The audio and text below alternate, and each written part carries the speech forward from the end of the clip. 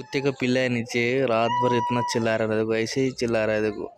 इसने मेरी नींद ही खराब कर दिया है रात। को बाहर लाए धूप में ऐसा, धूप सेकने के लिए हमारे तो सुविधा अच्छी दी है, देखो, चारों तरफ़ से सभी को।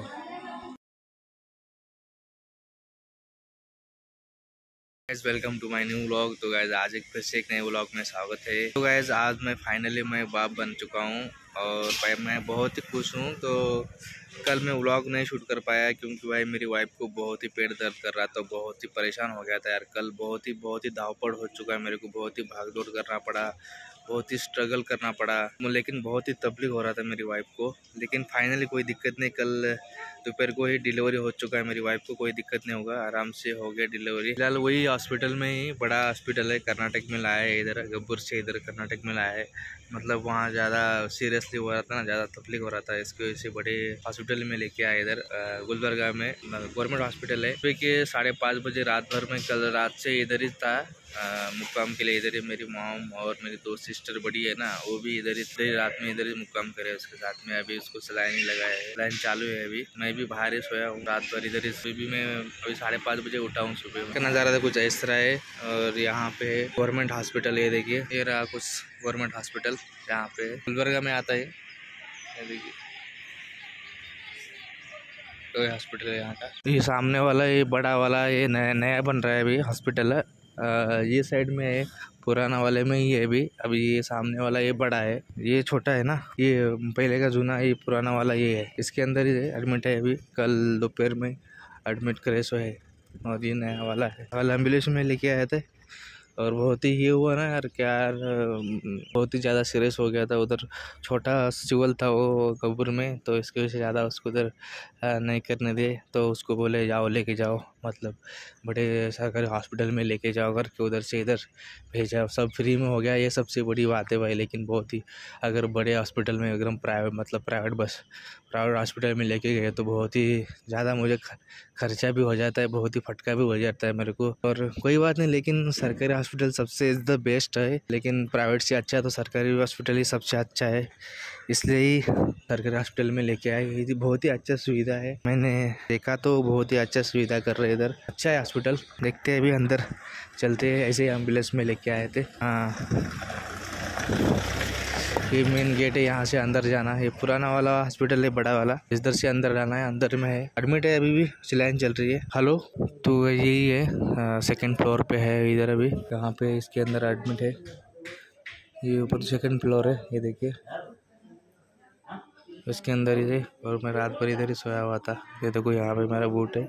तो यहीं पे मैं सोया था रात भर सुबह, अभी पाँच, साढ़े पाँच बजे उठा हूँ और रात भी मतलब मतलब मैं बारह बजे, बारह, एक बजे सोया हूँ।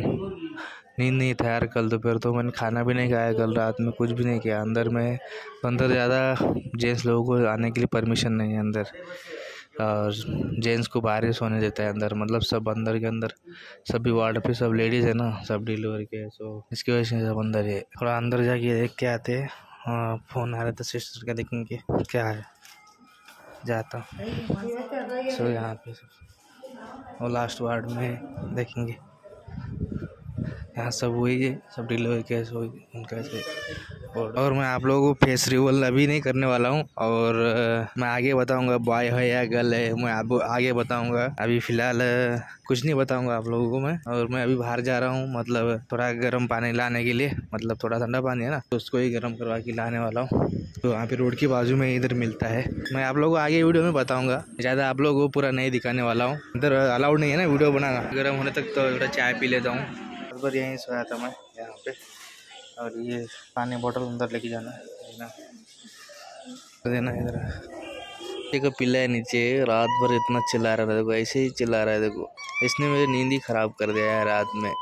चार बजे से, दो, तीन बजे से चालू है चिल्लाने का, लेकिन साढ़े चार बजे मैं उसकी वजह से उठ गया मैं नींद खराब कर दिया मेरा। अभी भी चिल्ला रहा है, देखो। पे लेटा है, देखो, सोनू को और हमारे दोनों सिस्टर तो इधर और यहाँ पे, देख, सोया हुआ है, देखो, यहाँ पे। चिल्ला रहे दूध नहीं मिल रहा है, कुछ नहीं। अभी चल रहा है उसका। अभी रात भर सलाइन चल रहा है, देखो। रात भर चाले उसको, खाना नहीं, कुछ नहीं, क्या नहीं। दिया था, ये बीपी का गोली है। यहाँ पे सभी बच्चे को बाहर लाते और धूप में सेकते देखो ऐसा बाहर सेकने के लिए लाया देखो ऐसा यहाँ पे। यहाँ सब पूरा डिलीवरी सभी वार्ड है सब रूम यही है इसके अंदर सब डिलीवरी वार्ड तो इधर ही चाहिए इधर। तो उनके बच्चे को बाहर लाए अभी धूप में। सुबह के साढ़े सात बज गए, अभी मैं हगीज लेने जा रहा हूँ। और अभी धूप भी आ चुका है और ट्रैफ़िक भी बढ़ गई, देखो। सुबह तो कुछ भी नहीं था, अभी बहुत ज़्यादा बढ़ गई, देखो ट्रैफ़िक मैं ले लिया हगीज, एक बार में दस हगीज ले लिया बार बार क्यों आना पड़ गया?